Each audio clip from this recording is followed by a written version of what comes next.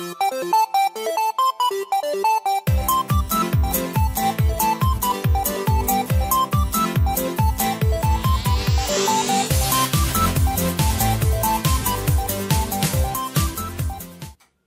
Hi, Guy. Welcome to the Amigarama podcast. I'm your host, Lorfarius, and in today's show, which is our 60th episode, we will be deep diving into the Addams family. But as usual, before we do that, let's just have a look at some of this week's Amiga news. First up is something I acquired, which was the Commodore story written by David Pleasance. Now, this is the full Commodore tale with all like stuff that's never been talked about or even covered in any sort of interviews. It really goes into the full history and all the good and bad stuff that happened behind the scenes. I am three quarters of the way through the book now. It's almost 400 pages long, I think. I've just passed 300 pages. I'm really enjoying it. One thing I did like about it is you can tell that this hasn't been written by something else because it's obvious that David isn't like a, a novelist or a writer. He's just trying to put across his own opinion and it offers a very truthful way of it all coming across. He doesn't seem to be just like spinning a yarn. Well, he's putting across his side, obviously, so he's not going to put himself, I assume, in a bad light, but he does a really good job of telling the story as straight as possible and really digging into it. It really is a great book. And I just bought this completely randomly off the actual website. I think it was $29.99. But I was amazed to find that when he posted it to me, you know, I didn't say it was anything special. I just ordered it as normal. You know, not like I'm pushing this off the back of the show. And uh, he signed the copy and actually put a little signature inside. And I just got it and I was like, oh my god, this is amazing. You know, I'm going to keep this forever. So uh, it's now tucked away in the back room. I'm going to finish it up and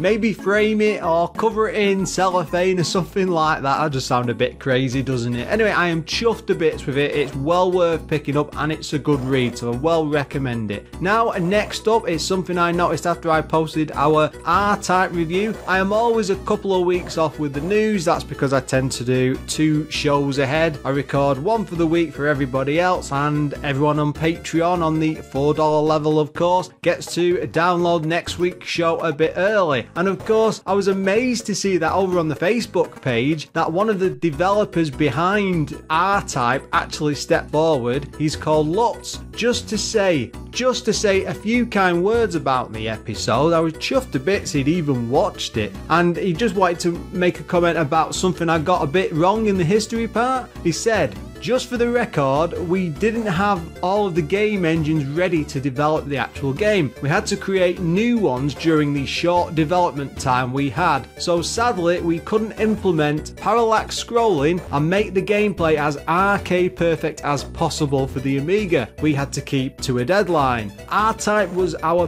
personal most favourite arcade game. That does come across by the way in the game because it's amazing and would have loved to give it our best shot. It's the main reason why we started making games at all, but at least we had the chance to do it, which we would have never dreamt of and tried the best we could.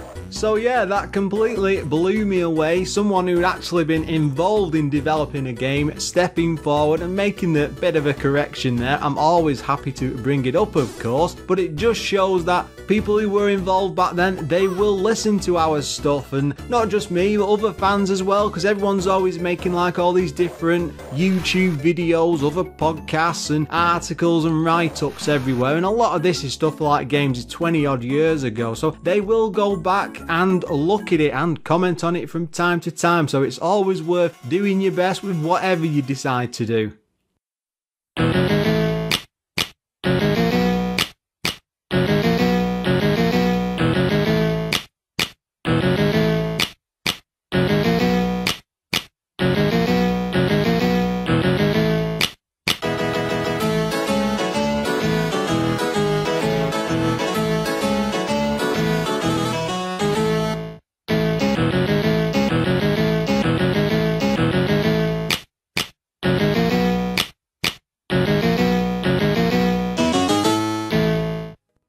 Let's take a close look at this week's game, which is The Addams Family. I do have a fair bit of experience with this, especially the Super Nintendo edition. It was a game that I rented with a few friends and we would like split it between us over several months. I think it was around a Christmas period, it would have been 92, 93, something like that. We became highly addicted to this. It was an awesome platformer on the SNES, so of course, coming back, I never played it on the Amiga back in the day, so I was very worried that I might not get on with it, you know, see what it was like, because there is, a, I believe, a big difference between the two versions. And this gets touted as some people's like all-time favorite Amiga platformer and one of the best games on the system. And I'm always a bit scared of going back to these ones because someone's always going to get upset with me. But I will try my best and we will dig our heels in and see what we can come up with. The game was published by Ocean Software. They did games like A Train. That's one I keep thinking of going back to on and off. Was a very addictive game as I recall as a kid, but whether or not it holds up today is another question entirely. And I've had discussions on the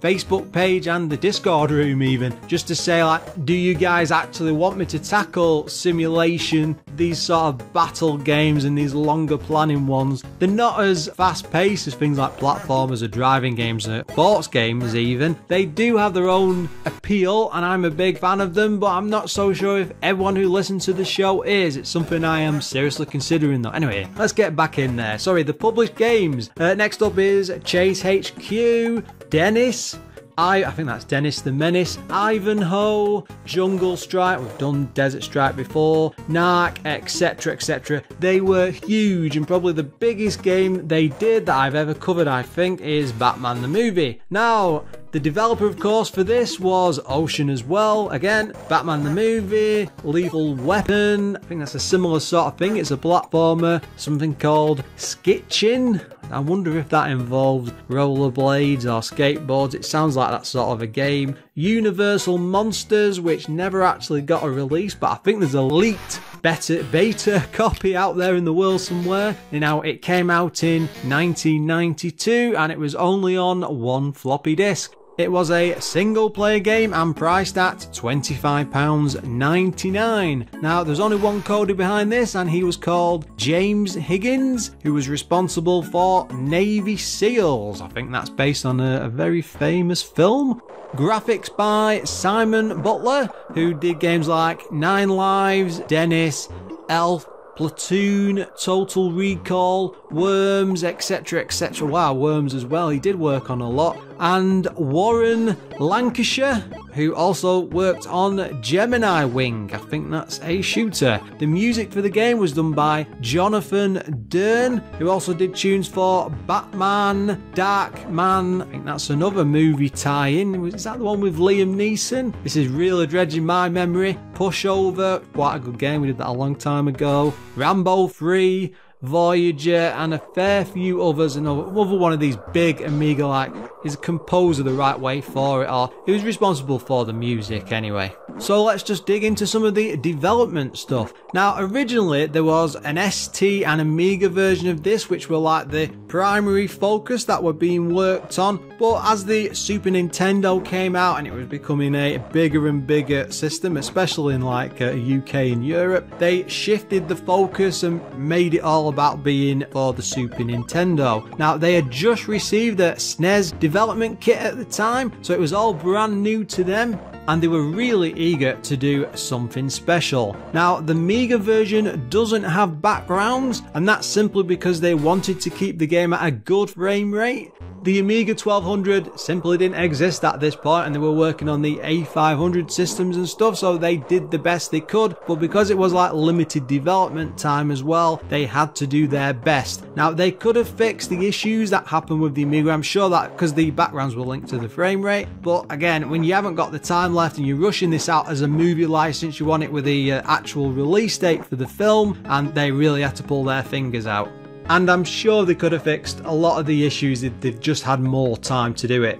During the initial stages of development, they wanted the game to be more like Pyjamarama, but as platformers were really starting to become like all the rage, I think this is like the knock on effect of Super Mario World and Sonic to some degree, it just seemed a natural fit to squeeze the Addams family world into Well, this platformer. Now, despite it being a movie license, they didn't actually receive any sort of uh, script or storyboards from the film. They only had pictures of the actual movie cast, which is a very strange thing to work off. So what they did was match the style of the game to the original TV show, which I think was out in the 60s, as well as the cartoons, which were doing another round at the time and getting very, very popular.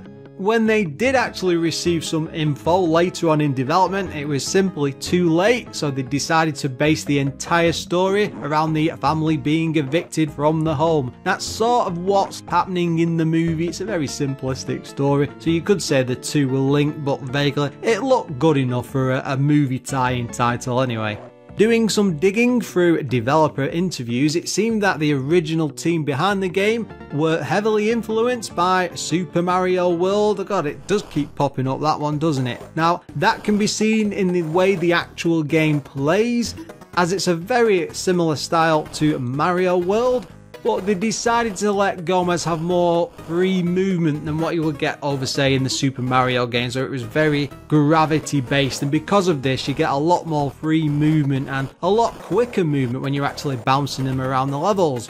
The license for it was seen as a pretty big deal by Ocean. They were even implementing focus testing to make sure the game was actually right, which is pretty unusual for the time. Again, this is the early 90s. Games were not seen as a big big marketing plus and a lot of the movie studios weren't really involved in like what happened to the licenses and stuff and this was still in those early stages as they were sort of coming round to it and it seems to show in the time the game was developed. From what I could find out online, it seemed to be just over a period of four months, mainly focusing on the Super Nintendo edition, and then a few weeks when they went back to the uh, original Amiga port and make it all link up and look pretty for each other, I think anyway. Gomez, as the main character, runs at a much higher speed than everyone else in the game. He's set to 60 or 50 frames per second, with the rest of the enemies scrolling at around 30 to 20 25 frames. That doesn't mean much to me, I'm afraid to say, though looking at it when you play the game, you can see a huge difference in speed, and that's probably why Gomez seems to be a, a lot faster than Mario and even Sonic, I think, to some degree. It makes it feel really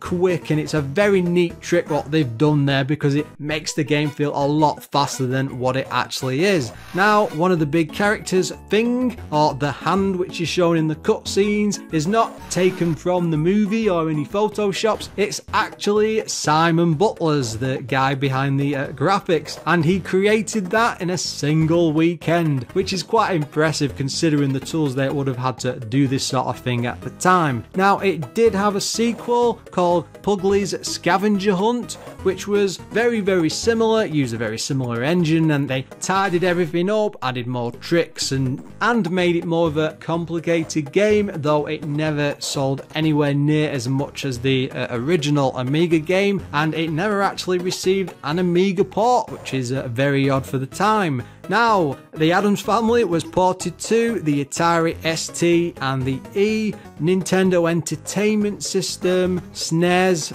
again that was the main main version, Sega Master System, which did surprise me, and the Sega Genesis or Mega Drive. Now, all of these games are quite highly reviewed, doesn't matter which version you look at, so even as a kid going buying these back in the day, so you would have been happy with whatever version you ended up getting your hands on. Creepy, kooky, ooky, spooky. Morticia has been kidnapped. Uncle Fester has lost his memory and has fallen under the spell of Abigail Craven, a conniving character who is anxious to lay her greedy hands on the Addams' hidden fortune. Having recruited a misled Fester and assisted by her cohorts Tully and the Judge, she manages to capture and imprison the other members of the Addams family within the huge Addams mansion. Only Gomez can save the day by freeing his son Pugsley, his daughter Wednesday, and Granny, and by restoring Fester's memory. Accomplishing these tasks is daunting enough, but then Gomez must seek out Morticia in the underground vaults of the Addams mansion and confront the evil judge in a kooky and spooky climax straight away, what an awesome starting story for a game. You can tell this one's been written a bit later because it doesn't really match what happens in the actual game itself. but then it's just a platformer, so let's not be expecting like Shakespeare from this.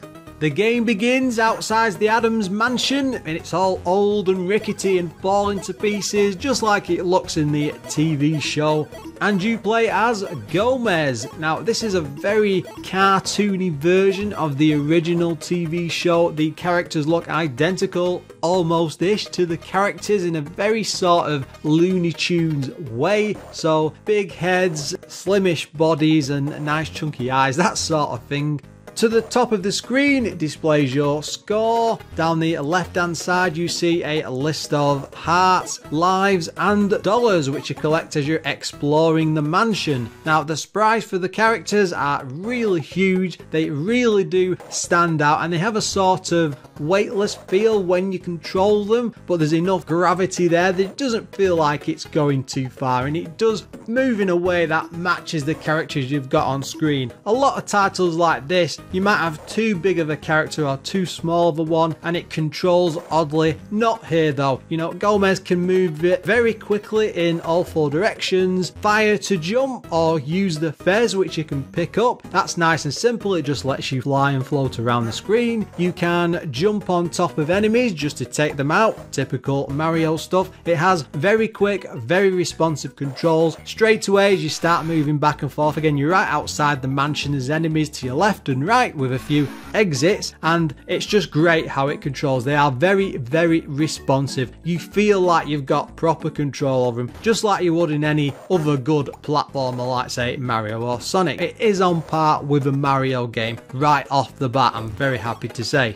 There are over a thousand screens to explore which are spread throughout the mansion and that in itself is divided into six stages, each of which involves rescuing a member of the family, which then places them in something called the music room and you've got like Lurch sat in the middle playing the piano and as you rescue each one they all appear there sat there getting involved. Well they don't really get involved in the actual game but it makes a cute little room you can visit in the mansion. Sorry I didn't say that before. When you start outside you can go in through the main door and then it's like a step structure to see different doors to different parts of the mansion. Each of them involves a level usually in platformers that have this sort of freedom or let you go to different sections are always broken off. You know, you have to complete a few levels first, like do the first three or do a small island before you can move on. The great thing about this game is it's very freeform. You can go anywhere at any point, so you can flip between different types of levels. You can go right towards the much harder ones further at the end, or you can take your time and learn your way up. It doesn't restrict you in any way, shape, or form.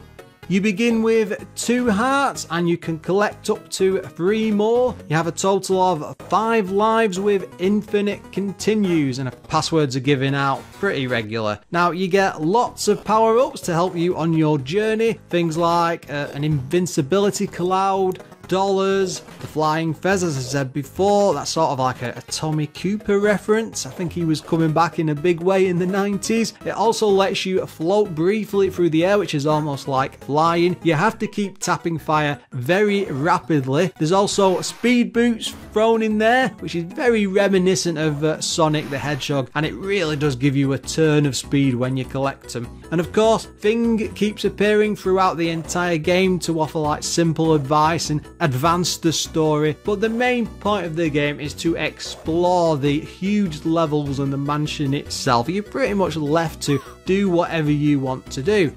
As mentioned earlier, Gomez is much quicker than anything else within the mansion and he moves at a pretty amazing pace. It really is a fantastic like technical achievement to see this in action because you really do feel like you're fully in control and you can nip around and sort of like what Sonic the Hedgehog should have been really. I mean it's at the expense of the issues with the frame rate I suppose and stuff and sorry the, the lack of the backgrounds though it gives it that turn of speed that the uh, other versions don't have. The graphics within the game are really gloomy, yet they're also incredibly gorgeous. It definitely has some of the best sprite works I've seen, especially for this time period around 91 92.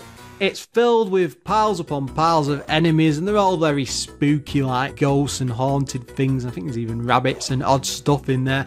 They really have gone to town with the number of characters included, and a lot of these might repeat in some of the levels, but it's only within that actual section of the mansion you're in, so you're not getting like copy and paste stuff across all of the levels, and it does mean that they're quite unique to some areas and it makes parts of the mansion look pretty good. Little bits of dialogue do appear throughout each of the areas, which you get by uh, tapping it's like Thing's box, which help push the atmosphere of the game. Really does feel like you're in the Addams Family world, and I like the little touch of the graphics and the little brief paragraphs you do get tend to be quite funny and humorous, and it does push you on to explore more and more of the mansion. One of the most outstanding things of the game has to be the music, especially that opening theme. It really does do a good rendition of what appeared on the original show, and I'm assuming that's what they reused for the movie and stuff. It sounds on par, it's there, it's what it should be, and the fact that I was bopping along and I've included it as the main tune I've picked to show off in the show should show you how good I thought it actually was. It really does have some amazing, spooky, and sort of dangerous tunes, and often a lot of them are very cheeky and mixed in with this bit of dark humour as well. It's really worth listening to some of the songs in this. Now, the sound effects are as you would expect them to be, they don't go too far over the top and it makes it more fun because they tend to be matched to the area you're actually in. So it's not like it's copy and paste those sound effects and then chuck them out all over the show no they really do go overboard with the amount of sound and music that mixed into this game. And they don't always do this with Amiga titles and I was very pleased to see that they've gone that extra level and really gone overboard with it. In typical platformer style, there's also a very good range of bosses to levels. None of these are too taxing and it's all very simplistic patterns which you have to learn. But like one in particular that stood out was like the bird flying around the trees with the uh, with the eggs in the nest. Very very detailed, neat little ideas and you can really tell that a lot of love has gone into the design of the levels and the bosses and so on. It really does stand out and puts it above a lot of other stuff that was on the market at the time. No game, of course, is ever perfect and it does have its uh, share of issues. First up, the lack of backgrounds behind the actual levels. Now, if you've played any other version of this on any other system, it really is a big problem. Every part of the mansion in the other versions is there. You know, if you're in the vault and you can see the piles of cash, you're in the kitchens with the counter, and they're only like simple designs. But in this, for the technical aspect, they've removed them all and just made it black and it really can spoil the exploration of these different areas because as you go into somewhere new it'll be like a different type of floor. Say it's like wooded for a forestry area or ice when you're in like the kitchen or the, the ice type levels or the sewer that sort of thing. The only thing that changes is the floor itself and the enemies I suppose to tie it all together. And that's a real shame on the other versions, there are room names when you go into each part of the mansion, and you can easily figure out where you actually are just at a glance, and it stands out usually at the top of the screen. But the Amiga port doesn't have this whatsoever, and although you can figure it out, it's just a little bit of an annoyance which happens all the time, and it just sort of interfere with me wanting to go and explore different parts of the mansion because they all effectively look the same. It just got like, you know, different enemies and stuff dotted around. I think as well, if you played any of the other versions, this one does not have the weapon, which is effectively a sword, and it's only got a single button. Now, that's not something you'll notice if you've only ever played the Amiga version because the game is good enough to enjoy aside from that, it doesn't really cause any issues, but it's a bit like knowing that in Super Mario Brothers you can sling the uh, fireball if you can collect the flower, and then you get to this and you know you can do the same, but then you never see the actual weapon to collect the sword to bounce around with. And if you played anything else, it's just a little niggle in the back of your mind. It's always there. Oh, well, this part would be much much easier. I could just fly through this bit and you know use a little tiny bit of combat. It just adds a bit more to the game. It's a real shame that they couldn't put it in. And yeah, that's about it for the problems. There's not really very many at all. The game does use a password system to skip the levels, which means there's no actual disk saving. That should always be a problem with huge games like this. Again though, you can just tap in a password. It's nice, and short and simple. It's not anything overly complicated, so I'll forgive it for that easily. Let's have a look at the magazine scores. Now, most of them absolutely love this game. CU Amiga gave it 95%, Amiga Action 94, The One 90%, then Amiga Power dropping off a bit at 88%, and lastly Amiga Format, which is probably the lowest at 78%.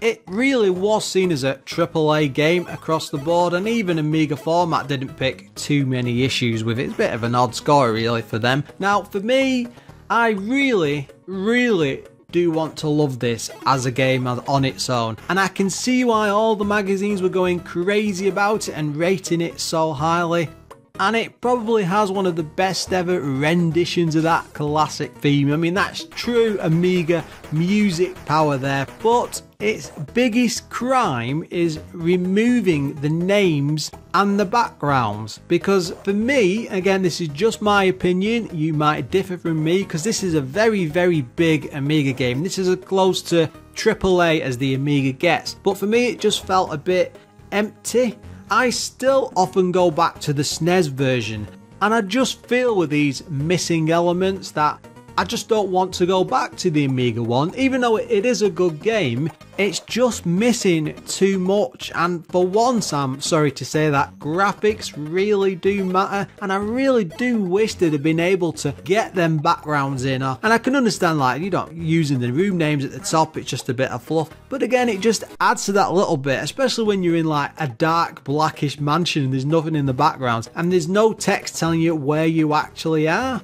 The rest of the game, though, is, is gold. They just get so much right, and it's just a real shame. The speed of the game and the way Gomez dots around and the way it works against the enemies, it's fantastic. The music is absolutely lush. The characters and the, the levels and the enemies and stuff, it all looks great. There's lots and lots to see and do, but for me, there's a more definitive version out there. So it's the Super Nintendo one. That's the one that will all always draw me back. And I just wonder why should I play the Amiga one when I've got access to this at the same time? As a kid though, if I would have had a choice between all the different versions, I would go for the Super Nintendo one every single time.